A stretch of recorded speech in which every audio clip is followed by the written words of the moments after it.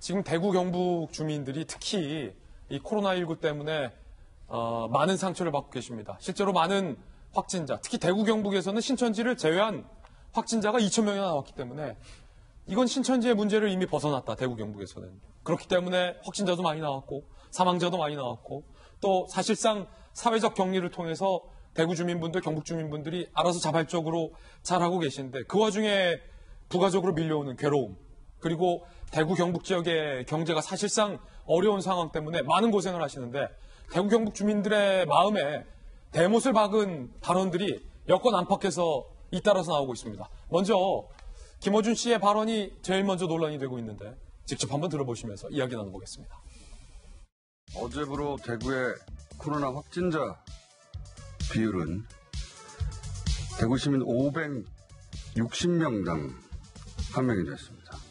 이런 추세라면 다음 주면 400명, 300명당 한 명꼴로 대구에서 나오게 되겠죠. 중국이 정말 문제였다면 인구 2,300만 수도권은 왜 10만 명당 한 명꼴로 확진자가 나오겠습니까? 숫자가 명백히 말하고 있는 겁니다. 우리 코로나 사태는 대구 사태이자 신천지 사태라는 걸. 우리 코로나 사태는 대구 사태이자 신천지 사태라는 걸. 장영 교수님, 김어준 씨 TBS 라디오 방송에서 한 말입니다. 뉴스 공정에서 하신 말씀인데 이거는 코로나19 사태가 아니다. 이거는 중국 우한 사태가 아니다. 대구 사태다. 대구 사태다. 중국에 정말 문제가 있다면이라는 발언까지 했습니다. 그러면서 이건 대구 사태다. 라고 힘을 주어서 강조를 한 건데 저도 대구의 사위라서 제 사견을 말씀드리기는 적절치 않은 것 같아서 저는 여기서 빠지겠습니다. 장 교수님 어떻게 보십니까? 전 저에게는 이렇게 막 심장이, 심장이 뛰죠. 앞서 대구에서 몇 명 몇 명 이야기할 때까지만 해도 저 진행자가 저 숫자를 왜 말하고 있을까 이미 계속 우리가 지겹게 매일매일 뉴스에 듣고 있던 숫자이고 굳이 저 숫자를 또다시 언급하는 것 자체가 대구 국민들 왜 저렇게 대구를 강조할까 했는데 목적이 뒤에 있었네요. 대구에서 이렇게 많이 나왔다라는 것은 이게 중국에서 온 게 아니다라는 이걸 그러니까 아까 정치인을 이야기하지 말라고 박상주 교수님 말씀하셨습니다만 예. 저는 이번 코로나 사태를 보면서 저는 확진자가 아니고 제 주변에는 아직은 확진자가 다행히 없어요. 그럼에도 불구하고 너무나 가슴이 아픈 게 정말 아무 잘못 없는 분들이 이 병에 걸려서 지금 확진자가 돼서 격리가 되고 사망을 하고 이러고 있잖아요. 이 와중에 이거를 정치적으로 이용하거나 개인적인 사적인 어떤 이익으로 막 말하는 것들이 너무너무 듣기 싫어서 돌려요. 그런 얘기가 막 하고 있어요. 네. TV든 라디오든 돌려요.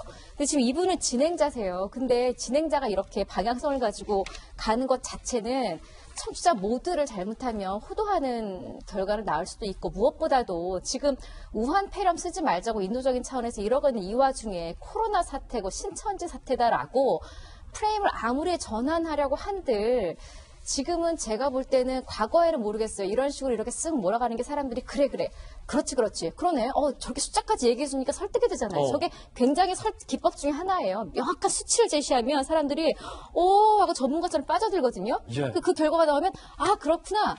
이게 사실은 굉장히 설득의 어떤 법칙 중에 한 가지가 저게 있어요. 예. 근데 저렇게 수치를 딱 말해주고 대구부터 얘기해주고 그 다음에 다 보세요. 중국이 이런 우한 이런 거 보면 우한은 아니라는 거죠. 신천지라는 거죠. 대구라는 거죠. 지금 저기서 지금 김어준 씨의 말에서 코로나 19를 위한 혹은 피- 그 희생자나 지금 피해자들이나 확진자를 위한 마음이 뭐가 느껴지죠? 없어요. 예. 정치적인 목적의 발언 외에는 아무 목적이 없는 것을 예. 왜 저는 지금 제가 들으면 심장이 뛴다라는 게 어떻게 저렇게 몰아갈 수가 있죠? 그러니까 그래- 그래서 얻는 게 뭐죠? 장 교수님의 분석은 해서? 김어준 씨가 굳이 대구 사태라고 규정하는 데는 정치적인 목적이 있다. 그러니까 이게 중국 탓이 아니라 대구 시민 탓이다. 라는 것을 말하기 위해서란 거예요. 누구의 이야기가 똑같을 뿐더러 심지어 그걸 하기 위해서 앞에 수치까지 쫙 제시하면서 이런 노력을 했다라는 게 사실은 생각을 해보면 굉장히 좀 잔인하신 거죠. 이 이게- 국민들이 다 보고 있는데 이게 대구 분들이 잘못해서 걸린 겁니까?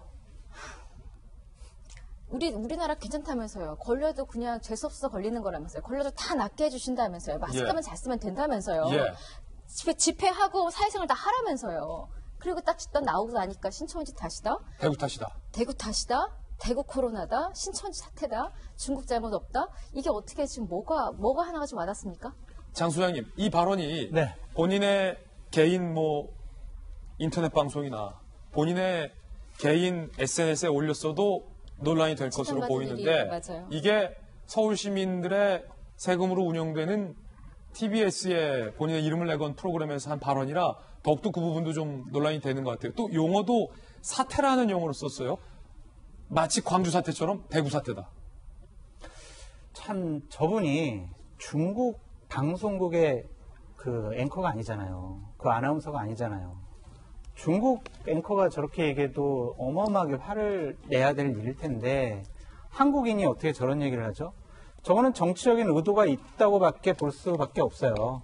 특정 지역과 신천지라는 특정 집단에서 감염이 됐기 때문에 이 정부의 방역에 잘못은 없다라는 것에 대한 정당성과 논리를 부여하기 위해서 저런 얘기를 하는 것 같아요. 하지만 대구 경북 분들 마음 아프게 하고 울게 해서 얻을 수 있는 게 뭡니까? 총선을 앞두고 좀 자기 진영의 편을 들어주겠다라는 것 같은데 정말 나쁜 분이에요. 그리고 정말 잘못된 발언을 한 것이다. 저 부분에 사과하고 해명해야 된다라는 생각이 드네요. 예.